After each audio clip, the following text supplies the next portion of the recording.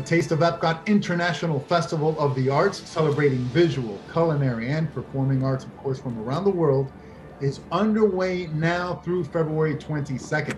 Joining us now from Epcot is Kartika Rodriguez, General Manager, Epcot Operations. Thank you so much for joining us, uh, Kartika. What can visitors expect this year from the Taste of Epcot?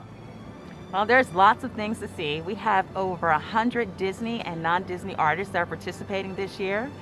Guests will have an opportunity to participate in a paint by number mural, and that's a great way to actually be able to leave and be a part of the artists here and your artwork being displayed with other arts. Um, for those guests that may be a little bit more adventurous, they'll have an opportunity to learn how to draw um, some of their favorite characters and let's not forget all the wonderful foods that you can have an opportunity to taste here at our Elk Park Festival.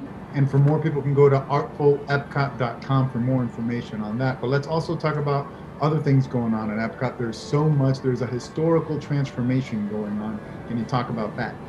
Yes, I think the uh, transformation here at Epcot, um, the way it was presented and how it's being done is very, it's very interesting because what it's done, it, it, it takes, it's a look at Disney um, it touches on some of the things that our guests have been very happy and pleased with from all of our parks. So it's really a touch of the Disney's um, things that guests have just told us they absolutely love and inspired. But at the same time, we've been able to maintain and enhance what Epcot has to offer for our guests as well. And do you have any special guests joining you today to help us preview Taste of Epcot? Absolutely. My favorite friend is actually, come on in, Donald. He wanted to say hello. Oh boy, hi Don. Well, oh, he's ready. He's got he's ready. He's got his artist outfit on. I love Don. yeah, he's one of my favorite friends too.